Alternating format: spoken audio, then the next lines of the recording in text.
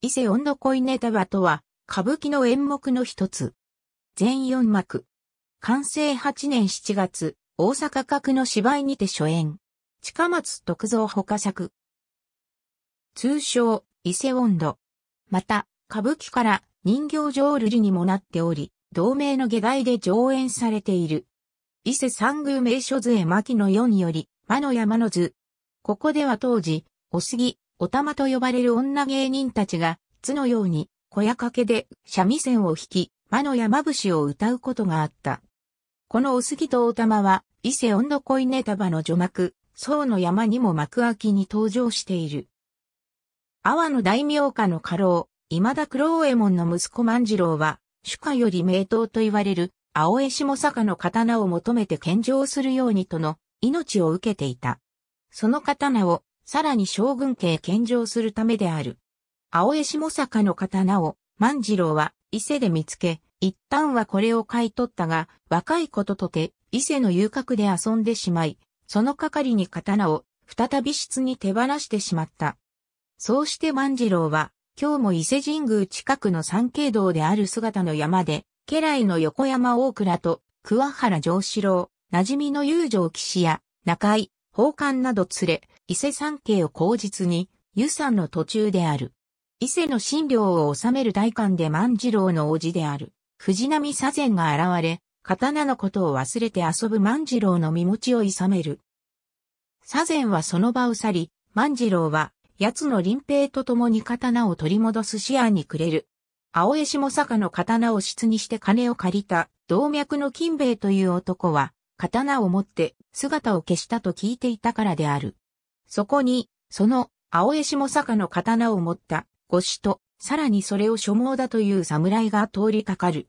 それを見た万次郎と林平は刀をこちらに譲るよう、五子と侍に頼む。だがその刀は、青江下坂ではなかった。侍は偽物を売りつけようとした、五子に怒り攻め、万次郎たちは致し方なくその場を去った。二人きりになった五子と侍。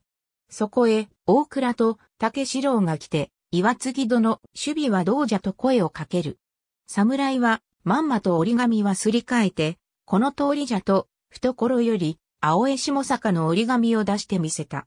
侍は万次郎から、どさくさに紛れて、折り紙を偽物とすり替えていた。ここは、伊勢山田妙見町にある宿屋である。藤波左前はここにとももつれず、一人で訪れ、五子の福岡貢ぎの帰りを待っていた。福岡貢ぎが宿に帰ってきた。貢ぎは、左前の使いにより、万次郎の父黒右衛門のもとへ行っていた。黒右衛門は国元を出て、鎌倉へと向かう途中である。津のあたりを行く、途中の黒右衛門に貢ぎは左前からの書状を渡し、その返書と伝言を預かっていた。貢ぎは左前に黒右衛門からの書状を渡し、その言葉を伝えた。だが、貢ぎは黒右衛門から願い叶わずば、再び国へは帰らぬ心底と聞いて不穏なものを感じ、それについて左前に問う。すると左前は次のように貢ぎに語った。今阿波の家中では、お家騒動が起こっており、当主のおじにあたる大学が、お家を乗っ取ろうしている。そこで、黒右衛門が鎌倉に下り、大学を押し込め隠居にしてくれるよう願いに、言っているのである。黒右衛門のせがれ万次郎は、大事な刀を遊興の室に入れてしまうような、不所存者だが、これを三つがかくまい、守備よく刀を取り戻し帰国させてくれるよう三つぎに、左前は頼む。三つぎの親は、黒右衛門の元家来で、三つぎは、幼少の時に、鳥羽に移り住み、今は五子、福岡孫太夫の養子となっている。また、左前の妹も、黒右衛門の妻であり、そうした縁からも貢ぎは、左前の頼みを快く引き受けるのだった。そこに万次郎と林平が来て、話に加わる。だが万次郎の所持していた折り紙が、偽物とすり替えられていたことが発覚する。左前は、黒右衛門より、大学の家来である、徳島岩継ぎというものが、当地に入り込んだと聞いていた。察するところその折り紙を奪ったというのは、徳島岩継ぎの一味であり、刀と折り紙の紛失を理由に、万次郎を罪に落とし、親の黒右衛門もそれにより窒居させようという企みに違いないと話す。皆は臨平を残して奥へと入った。それまでの話を岩継ぎの一味である大倉、竹四郎が聞いていた。同じく一味の角太郎も出てきて、岩継宛の大学の書状を大倉に渡す。この上は、主大学にとって邪魔な左前を殺そうと奥へ忍び入り、大倉は岩継へ書状を届けに行こうとする。だが大倉たちの様子を隠れて伺っていた林平が、その前を立ちはだかり、書状を奪おうとし、書状はちぎれて半分が林平の手に残った。奥より、三木と万次郎が出て、三木の住まい二見村へと行く。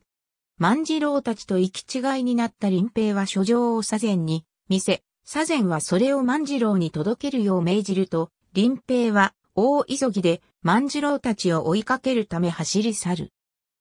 二見が裏三代目、中村歌右衛門の福岡貢ぎ。文化十年三月、大阪中の芝居。足丸が、すでに夜、二見が裏の浜添を万次郎と貢ぎの二人は、提灯の明かりを頼りに歩む。そこへ、大倉が大慌てで走り、貢ぎとぶつかる。万次郎は大倉を見てびっくり、大倉も万次郎を見てびっくりし、一山に走り去る。林平が追いつき、万次郎たちに最善の書状の半分を渡す。大倉と竹四郎もその場に現れ、暗い中で書状の奪い合いと切り合いが始まるが、最後は林平が万次郎の手を引いてその場を逃れ、三木が大倉より、書状の残りも手に入れると、夜が明けるのだった。腰、福岡孫太夫の家では、工獣が集まって、大々神楽を催している最中である。孫太夫は、左前の指示により、黒右衛門と同じく鎌倉へと向かっており、今は、弟の猿田彦太夫とその甥の正直正太夫が、留守を預かっている。孫太夫の一人娘である榊は養子に迎えた、貢ぎのことを憎からず思っており、孫太夫もいずれ貢ぎを榊と、祝言させ、家を継がせるつもりだったが、そんな榊に正太夫は、岡惚れしている。大々神楽が終わり、腰や甲獣の人々がいなくなった後、貢ぎとは馴染みになっている伊勢古市の友情油屋のおこんが姿をやつして訪れ、貢ぎと話をする。油屋の中井万屋が自分と田舎の客との縁を取り持ち、その客におこんを見受けさせようとしており、貢ぎに惚れているおこんはそれを嫌がっている。しかしその田舎の客が、阿波の侍で、岩と呼ばれていると聞いた貢ぎは、もしや、徳島へは次か、と疑うが、おこんの話では、その侍は左前より聞いた岩継の人相とは異なり、別人のようだ。彦太夫はおこんを見て、誰かといぶかるが、貢はこれは自分のおばだとごまかし、二人は一軒のうちに入る。彦太夫と正太夫は、実は大学の側に組みし、養子の貢もこの家から追い出して、福岡家を乗っ取ろうと企んでいた。またおこんがおばではないことが露見するが、そこへ貢を尋ねに、おばのおみねが来ていた。おみねは事情を察し、おこんを年の離れた妹だと話すので、彦太夫と正太夫はそれ以上の追求はできず、奥へ引っ込む。おみねは自分が持っていた刀を貢に渡す。それは貢たちが尋ね求める青江下坂の刀であった。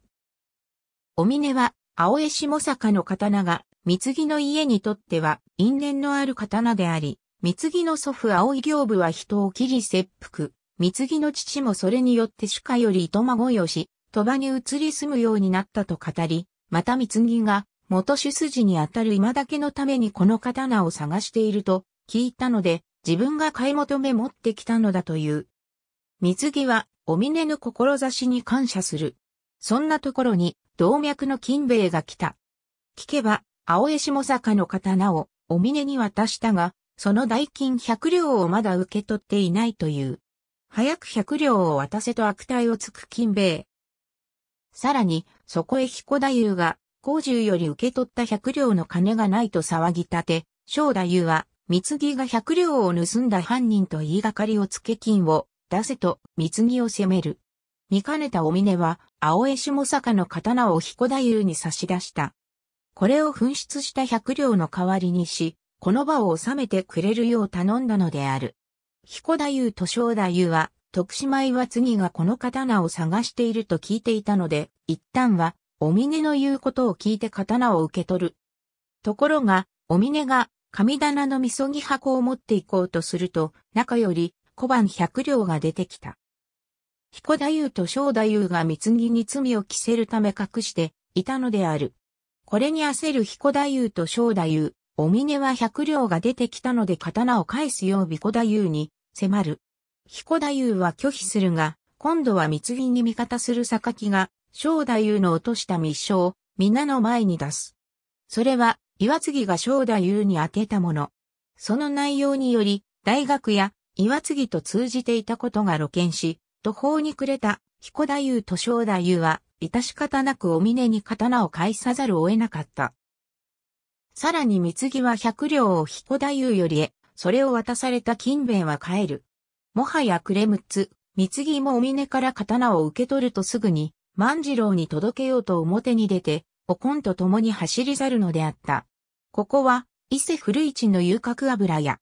貢ぎのもとに身を隠していた万次郎は、自らも刀と折り紙を探そうと、4、5日ほど伊勢や鳥羽を歩き回ったがその行方は知れず、最後に馴染みの友情沖氏が勤める油屋を訪れる。角口で様子を伺うと沖氏が出てきて話をするが、そこへ中井の万のも来て、万次郎が表にいると知り散々嫌味を言う。致し方なく、万次郎は、ひとまずよそへ行き後ほど貢ぎとここで落ち合おうと立ち去った。油屋には、阿波の侍徳島岩継と阿波の商人、アクアマリンや北六が投留しており、沖氏はこの北六から見受けされて自分のものになれと迫られていた。万夜もそれを進めるが、万次郎のことを思う沖氏がそれになびくはずもない。やがておこんを連れて、古市の芝居見物に行った岩継が帰ってきた。皆は奥に入る。三木が油屋に来た。腰には、例の青江下坂の刀を刺している。この刀を少しでも早く万次郎に渡そうと思ってはいたが、万次郎は貢ぎには断りになしに出かけていたので、その行方を探していたのである。沖氏が出てきて、万次郎のことを話す。貢ぎは万次郎の行方を知りその場を立とうとしたが、沖氏は万次郎と行き違いになってはいけないから、ここで待つ方が良いと引き止める。さらに貢ぎは、おこんと沖氏川から来た客たちに明日にも見受けされ、阿波に連れて行かれそうになっていると聞く。おこんさんも私も行かぬ。良い思案はあるまいかいなと貢ぎに相談する、おきし。しかしその話の途中、遊女たちが来た六が呼んでいるとおきしを奥へと連れて行ってしまった。貢ぎは、徳島岩継ぎや蘭玉や北六が、お家のっとりを企む大学に加担する者たちとは以前から聞いていた。また刀の他に大切な折り紙は岩継が所持していることも分かっていたので、どうにかして折り紙を取り返さねばと思案しているところに、万屋が奥より出てくる。三木はおこんに会いたかったが、万屋は、おこんは今日は和の客の相手をしているので合わすことはならない。また三木の刺している刀を預かろうという。大事な青江下坂を預けては、と、三木が困っていると、料理人の木助が出てきて自分が刀を預かろうと申し出た。実は木助は、貢の親に中間暴行していたもので、いわば貢にとっては家来筋である。そこで、貢が木助に刀を預けると、それを見た万屋は奥へ入った。貢は、木助に今預けた刀が、青江下坂であり、紛失した折り紙も油屋にいる、岩継ぎが持っているらしいと木助に聞かせ、二人は奥へと入る。だが、この二人の話を万屋や、北六が影で聞いていた。万夜も岩継ぎたちに組みしており、貢から刀を盗む相談する。さらに、岩継ぎは密かに貢の刀と自分の刀を持ち出し、互いの刀身を入れ替えた。貢めがさんによるとき、そのさっき預けた刀をクレイと抜かすは、三に折った後に残った、これ、この刀の実は、青江下坂。うまい、うまいと言いながら二本の刀を持ち奥へ入るが、この様子をキスケが影で見ていた。三木が万次郎が来るのを待っていると、万夜に言われたからと押鹿が来て、思いもよらぬことを語り出す。貢ぎに惚れている押鹿は、今まで貢ぎに何度も恋文を送り、その返事もたびたびもらったのだという。しかし貢ぎには一向に覚えがない。一体そりゃ何を言うのじゃと、貢ぎが否定すると、押鹿は、そりゃどうよくと泣き出す。そこへ、奥から岩継と北六が、おこんやお岸などを連れて出てきた。貢ぎはおこんに身に、覚えのないことと釈明し、それを聞いて腹を立てる押鹿。押鹿は、貢ぎから受け取ったという分には、自分へ金の無心をする内容もあり金も渡したという。貢ぎがその文を見ると自分が書いたものではない。押鹿が貢ぎからという文を直接受け取り、返事と金を渡したのは万屋だと聞き、万屋が呼ばれる。だが万屋も自分は貢ぎと押鹿から文を受け取って双方に渡しただけ、金も貢ぎに手渡したと言い張るばかり。結局は貢ぎが押鹿を騙したことになり、北六たちは貢ぎを馬鹿にして嘲笑った。しかしお恋はそんな貢ぎをかばうどころか、めったに潔白には言われますまいと貢ぎをなじり、このあまりの言い草に貢ぎはすっかり腹を立て、侍が嫌いなら、俺も町人は嫌いじゃと帰ろうとする。その時木助が預かっていた刀を持ってきて、貢ぎに渡す。貢ぎは万屋に、表へ突き出され、押鹿が、わしを騙したわけ立てさ先生とすがりつくが、不機嫌極まる貢ぎは、え知らぬ愛と押鹿を蹴飛ばし、万次郎を訪ねに走り去った。木助の渡した刀とは、岩継ぎの刀で、すなわち中身は、青江下坂。岩継が刀の中身をすり替えるのを見ていた木助は、わざと間違えたふりをして、岩継の刀を貢ぎに渡したのだったが、怒りに、我を忘れた貢ぎは、刀のこしらえが違うのに気がつかなかった。油やお根にも袖にされた貢ぎは、預けていた刀を着付けから受け取って帰ろうとするが、右より三代目、沢村田之助の油やお根、十三代目、市村宇左衛門の料理人、木助、二代目沢村突将の福岡貢ぎ。安政六年六月江戸市村座、関号議場画像誌。三代目、歌川豊国が。お根が、貢ぎと縁を切るのを見ていた岩継たちは、ついにその正体を今に明かす。今まで阿波の侍徳島岩継と名乗っていたのは、実は、蘭玉や北六、北六というのが、実は、徳島岩継であった。岩継と北六の人相をよく知らぬ万次郎と貢を欺き、青江下坂の刀と折り紙を奪い取るための計略だったのである。それを聞いたおこんは、岩事実は北六に、さらになびくように見せながらと言いたいことがあるという。お前の懐に大事そうにしてイヤシャンス複殺包み、ありゃ、なんで、ござんすえというおこん。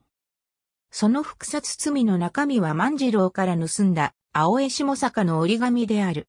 それは大方他の女からもらった希少文だろう。見せてくださんせとおこんは言うが大事な折り紙。北六は見せるのをためらう。しかしついにはおこんがへそを曲げるので、致し方なく北六は折り紙をおこんに渡した。おこんは中身を改めるため、階段を登って2階の座敷に入る。万夜が刀を持ってきた。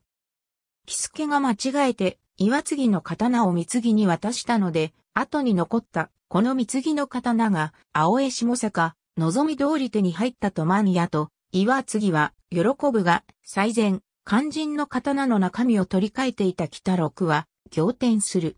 それを聞いた岩継ぎと万屋も慌てるが、万屋は木助を呼び、そ知らぬ様子で刀。しかし木助が、貢ぎの家来筋だと思い出した万屋は、その、木助の後を大急ぎで追ってゆく。入れ違いに、貢ぎが、一山に走って、油屋に戻ってきた。刀のこしらえが違うのに気づいたのである。キスケと万屋を呼ぶが出てこない。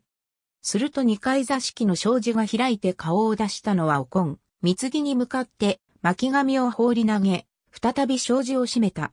貢ぎが巻紙を取り上げてみると、巻紙の中に入っていたのは、青江下坂の折り紙。また巻紙には、貢ぎに辛く当たり縁切りしたように見せたのも、岩継たちを油断させて、折り紙を取り返すための偽りであり、岩継と北六は互いの名を取り替えて、身分を偽っていたことが記されていた。三木はおこんの心遣いに感謝する。そこへ大慌てで万屋が戻ってきた。三木を見て刀を奪おうとする万屋。まだ刀の中身が変わったことを知らない三木はそっちこそ、刀を返せと万屋と争ううち、三木が刀を抜かずに鞘で万屋を殴ると、鞘が割れ万屋は切られる。血が出て騒ぐ万屋。それを、三木は一頭のもとに切り万屋は倒れる。岩継の一味である次郎介が万屋の死骸につまずき、驚いて声を上げると三木に切りつけられて逃げる。三木は自分の刀を探そうとし、そこに出てきた北六は、切りつけられて二階に逃げ、三木は北六を追いかける。二階にいた押しかも三木に切り殺される。三木は何かに取り憑かれたように人々に手を負わせた。油屋のうちは大騒動となり、踊り子たちが逃げ惑う。庭に出た三木は逃げようとする北六になおも切りつけると、そこにはおこんがいた。おこんを見てやっと我に帰った三木。おこんは三木を解放するが、まだ動揺してものが言われぬ三木は、先に、ここから逃げろと顔で知らせる。それを泣きながら嫌がるおこん。しかし結局は三木に言われた通り先に逃げてゆく。後には北六が血まみれになりながら人殺しじゃと震えている。そこへ雷が鳴ったかと思うと激しい夕立ちとなった。雨の中、油屋から逃げてきた次郎介は走りくたびれて休もうと目についた家の物置に忍び込んだが、この家は鳥羽にある三木のおばお峰の住まいであった。雨はもうやみ、夜が明けようとしている。そこへもう一人走ってきたのは三木である。油屋からここまでかけてきた三木は角口に来ると、持っていた抜き身の刀を置いて、そばにある井戸から水を汲み、帰り血を浴びた刀と体を拭った。門を入ると誰じゃと、お峰が出てくる。三木は素早く刀を家の中のタンスに隠した。お峰より、青江下坂の刀について問われた三木は、刀はすでに手に入れて、万次郎に渡し、これより万次郎と共に、阿波へ向かうのだというしかなかった。それを信じたお峰は、三木の雨に濡れた着物を着替えさせた。また今日は5月5日の単語の節句なので、そのために用意した膳を三木に出す。だが、お峰は、濡れた着物を畳もうとして、あちこちに血がついているのに気づく。さらに、三木が落ち着かぬ様子で出された善を書き込みたとうとする様子を見て、三木が人を切って切腹する覚悟と悟った。三木は折り紙を得るために岩継ぎたちを油屋で切ったことを打ち明けた。そこに藤波左膳と万次郎が訪れる。万次郎は三木が青江下坂の刀を持っていると沖岸より聞き、三木を探していたのである。早く刀を渡すようにと迫る左膳と万次郎。だが、三木はまだ刀が岩継ぎの刀と取り違えられたと思っており、何を聞かれても返答に休止者が言えない。その様子に、左膳、万次郎、お峰は、刀が、またも奪われ、三木は所持していないと察した。三人は三木を攻め、左膳と万次郎は去る。お峰も三木を家より追い出した。耐えかねた三木は、隙を見て、最前ダンスに隠した刀を取り自らの腹に突っ込んだ。刀を木助に取り違えられ、おこんの働きによって折り紙は得たが、肝心の刀を失い、それを探すため油屋で人情沙汰まで起こしたが見つからない。所詮運命尽きたる三木、腹かっさばく覚悟でござったわいのと、三木は泣きながら、お峰に語るのであった。そこに、木助が駆けつけ、岩継ぎが刀が、すなわち、下坂の刀と岩継ぎが刀身をすり替えたいきさつを話す。万次郎と左膳も戻ってきた。そこで、三木の腹から刀を抜いてその刃文を見れば、紛れもなく青江下坂。また、三木を見て、気遣いない、急所は外れた。養生叶うぞ、と左膳が言う。刀も戻って、型じないと安堵する三木と、お峰。すると林平が馬を引き、上下姿の侍や若党たちと共にやってきた。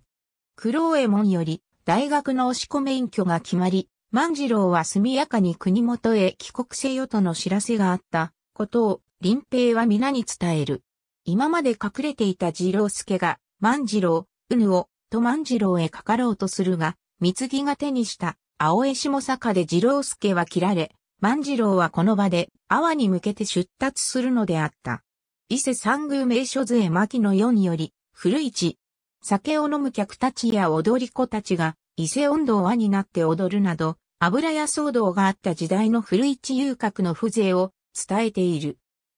完成8年5月4日深夜のこと、伊勢古市の遊郭油屋で事件があった。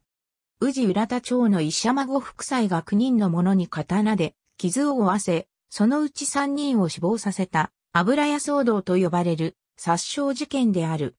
孫福祭は油屋に来て、遊女のおこんを相手に酒を飲んでいたが、おこんは他の客の相手をするため席を外した。時はこれに腹を立て、自分の刀で油屋に勤める下女や、下男、遊女、またおこんが中座して相手をしていた阿波のアクアマリン商人三人など次々に切りつけたのである。おこんは油屋の裏口より表に出て難を逃れた。その後時も油屋から逃げ、二日後の5月6日夜、宇治浦田町の神主、藤波家に忍び入りそこで腹を切って、喉を刀でついた。しかしすぐには死ねず5月14日に絶命したという。当時の伊勢古市は、伊勢神宮の三景客を当て込んだ遊郭画の木を連ねており、油屋はその一つであった。この油屋騒動は、事件のわずか10日後に、伊勢松坂の芝居で取り上げられ、伊勢土産勝負刀という下題で、嵐三五郎が孫福祭にあたる役を演じた。さらに7月になって大阪で上演されたのが本作の伊勢温度恋ネタバである。初演の時には、冊子噂の青江下坂十人切子の大座敷はの角書きが下題についた。これもわずか3日で書き下ろされ、舞台にかけられた、いわゆる、数よつけと呼ばれる芝居であり、内容は二幕目、大大公に近松門左衛門作の長町城原切から筋を借りるなどしているが、初演で好評を得て、以降上映を繰り返している。また三代目、坂東彦三郎が、今日は三年に、江戸河原崎座で福岡三次を演じてからは、江戸においても人気演目の一つとなり、三代目、尾上菊五郎も演じ五代目菊五郎、十五代目、市村宇左衛門や六代目菊五郎へとその方が伝えられ現在に至る。ただし現在では三幕目の油屋だけがもっぱら一幕物の演目として上演されており、四幕目は三代目菊五郎が演じて、後上演が絶えている。伊勢温度恋ネタバは内容としてはお家騒動物にあたるが、それよりも伊勢参りに関わる場所や風物を取り上げたところに特色がある。宋の山、二見が裏、古市の遊郭、五市や大大公、また下代にもなっている、伊勢温度など、いずれも当時の伊勢参りをする者にとっては、定番とも言うべき名所や風物であった。江戸時代の庶民にとって、お伊勢参りといえば、一生に一度は行ってみたい旅であり、そのために、こうという集まりが各地の村や町に作られ、その中で費用を積み立てて伊勢へと出かけた。大々公とは、伊勢参りをするための公のことで、伊勢港とも言い、二幕目は、大々神楽の行われる、五市、福岡孫太夫の屋敷が舞台となっている。大々神楽は、伊勢の五市の屋敷で行われる規模の大きな神楽のことであり、伊勢参りに来た、公の人々が、多額の金銭を五市に収めて行う。彦太夫と小太夫が貢ぎを陥れようと隠した百両とは、こうより、大々神楽を行うための費用として受け取ったもので、ある。序幕から通してみれば、お家騒動や油屋の住人切りだけではなく、伊勢参りに関わるものを芝居の筋に絡めて、脚色しているのがわかる。なお本作は幕府をはばかるための上等として、時代を鎌倉時代に固くしているので、セリフに鎌倉の執権職とあったり、今田九郎右衛門が訴えをするために鎌倉へ行くことになっている。序幕の妙見町宿屋と二見が裏の間には追っかけというものがある。大倉を追う林平に竹四郎も加わって、この三人が大学からの書状を取り合う様子を赤いものに至りてはと始まる下座音楽を使い見せるもので、大倉が地蔵に化けてやり過ごそうとしたり、竹四郎が井戸に隠れるなど滑稽なところを見せる。これは三代目菊五郎が演じた時に、それまでなかったのを付け加えたものである。油屋二代目、片岡画道の福岡貢、のれんより顔を出しているのは、初代、中山一蔵の中今宮。安政二年4月、江戸中村座。三代目報告が、油屋は、貢ぎが、押鹿に攻められ万屋たちにも罵られる。さらにおこんの言うことを真に受けカッとなり、油屋を出ていく、縁切りの場面が見どころである。貢ぎ、万屋、押鹿、それぞれの役者にとって、しどころは多いが、おこんについて、こうした縁切りは腹にないことを我慢して言うのですから、存外至難な技ですと七代目、沢村宗十郎は述べている。また、油屋では、青江下坂の刀が目まぐるしく動く。水木が青江下坂の刀を刺して油屋に来る。それを岩継が自分の刀と中身をすり替えたことで、こしらえは変わらないが、水木の刀は中身が青江下坂ではない岩継の刀、岩継の刀の中身が青江下坂になる。この刀身のすり替えを見た木助は、青江下坂が岩継の手に渡らぬようにするため、三木にわざと岩継の刀を渡した。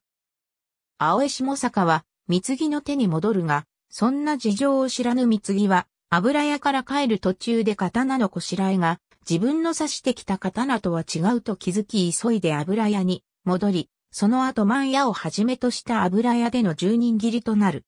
逆上しているところに、大事の青江下坂が他人の刀と取り違えられたと思いさらに苛立ち、また二幕目でおばお峰が語っているように、青江下坂の刀は、三木の家にとっては因縁のある、呪われた刀であり、そうしたことが絡み合って、三木が油屋で多くの者に人情に及ぶとしている。現行では、三木が万屋たちを切った後座敷から奥庭へと舞台が変わり、踊り子たちが舞台正面にあつらえた廊下に並んで、伊勢音頭を踊っている。これは五代目菊五郎が演じた時に加えたもので、それ以前はなかったという。踊り子たちが騒ぎに驚いて逃げ、花道から出てきた三木が、なおも人を切る。おこんが出て、三木はやっと正気を取り戻すが、人を殺した申し訳に腹を切ろうとする。そこへ、キスケが駆けつけ、その刀が、昇進の下坂でござりますというので、三木が持った刀を改めると、青江下坂、その時は買い物が絡むのを、三木が切り捨て、三木を真ん中におこんがかみて、刀の血を拭う着付けが下手になって、幕となる。これは四幕目を出さないので、油屋の最後で、青江下坂の刀だとわかるようにしたのである。伊勢温度恋ネタ場は人形浄瑠璃としても上演されており、これは天保9年7月、大阪の稲荷社内東芝居において初演された。この時の構成は、松原の段、十内十下の段、福岡屋敷の段、二見が裏の段、油屋の段となっており作者は不明。これらの段を収めた、浄瑠璃本は反抗されていない。近代以降に稽古本として、誕生のない、後にお恋はうっとりとで始まる、油屋の段だけが反抗、本国されており、これが現在文楽で、伊勢温度恋ネタ場として上演されている。ありがとうございます。